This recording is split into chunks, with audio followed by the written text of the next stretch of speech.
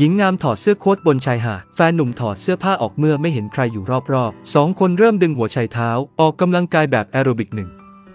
นาที สนามรบกลับสู่ความสงบ แต่จู่ๆแฟนของฉันรู้สึกปวดท้อง ฉันเดาว่า 121 แข็งแกร่งเกินไปในตอนนี้ เขาจึงขอให้ลินดารออยู่ตรงนี้ กลับไปเอาไซส์ใหญ่มาหนึ่ง ไซ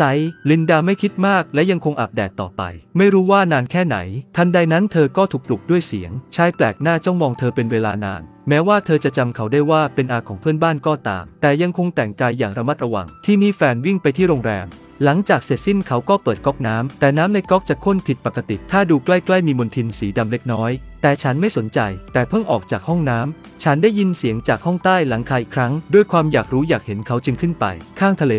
ลุงเพื่อนบ้านพูดอะไรแปลกๆกับลินดา แล้วถอดเสื้อผ้าเดินตรงออกไปกลางทะเล จนจมน้ำทะเลไปทั้งตัว เมื่อเห็นว่ามีบางอย่างผิดปกติเธอจึงรีบเรียกให้เขาหยุด แต่ไม่ว่าเธอจะตะโกนเท่าไหร่ก็ไร้เสียงตอบรับจากอีกฝ่าย เธออยากจะไปอีกครั้ง แต่จู่ๆไปเหยียบอะไรเหนียวๆเข้า มันน่าขยะแขยง แล้วความเจ็บปวดก็เกิดขึ้น ดูเหมือนว่ามีบางอย่างเข้าไปในร่างกายของเธอ ลองดูสิ่งนั้นอย่างใกล้ชิด จอขาของลินดาทีละนิด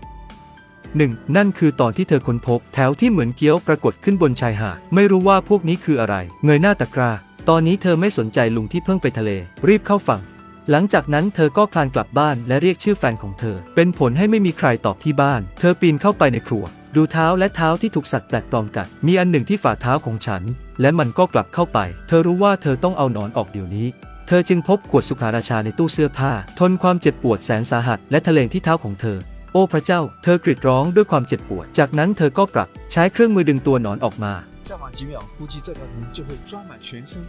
ดึงออก เธอเพียงแค่พันเท้าของเธอ จากนั้นเธอก็ขึ้นไปชั้นบนเพื่อไปหาแฟนของเธอ จากนั้นเปลี่ยนเสื้อผ้า มีข้อดีเพียงสองข้อเท่านั้น ฉันจะข้ามไปให้คุณ ในขณะนี้ฉันสามารถเห็นร่างคลานอยู่นอกประตู เธอวิ่งออกไปและเห็นแฟนของเธอนอนอยู่บนพื้น เธอคอยถามแฟนของเธอว่าเกิดอะไรขึ้น แฟนหนุ่มลังเลและบอกให้เธอหนีไป ลินดาตกใจมากไม่รู้ว่าเกิดอะไรขึ้น และหญิงชราข้างบ้านก็ปีนออกมา เธอหันกลับไปมองอีกฝ่ายดวงตาของเธอหม่นหมอง เหมือนผีอุ๊ยมันทำให้เธอกลัว เธอช่วยแฟนของเธอแล้ว ทั้งสองก็รีบวิ่งออกจากบ้านไป เห็นหญิงชราไล่ตามเธอ เธอพบท่อน้ำและผูกประตู จากนั้นจับแฟนของเธอและวิ่งหนีต่อไป หญิงชราในบ้านก็ทุกหน้าต่างแล้ววิ่ง เฮียโหดมาก ทั้งคู่วิ่งหนีไปที่บ้านของเพื่อนบ้าน ลินดาเคาะประตูอย่างสิ้นหวังเพื่อขอความช่วยเหลือ เป็นผลให้ไม่มีการตอบกลับจากทางบ้าน ในเวลานี้ลินดาพบว่ามีหมอกหนาอยู่ไม่ไกล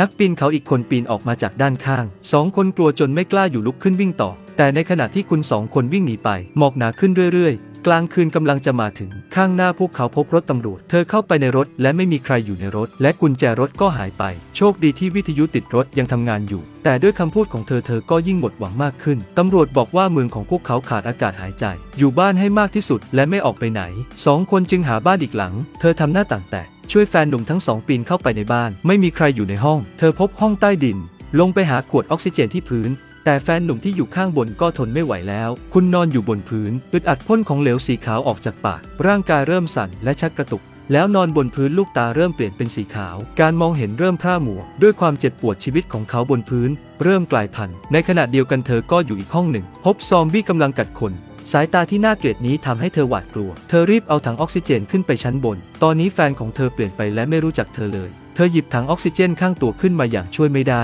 โชคดีที่ยังพบกุญแจรถอยู่ที่พื้น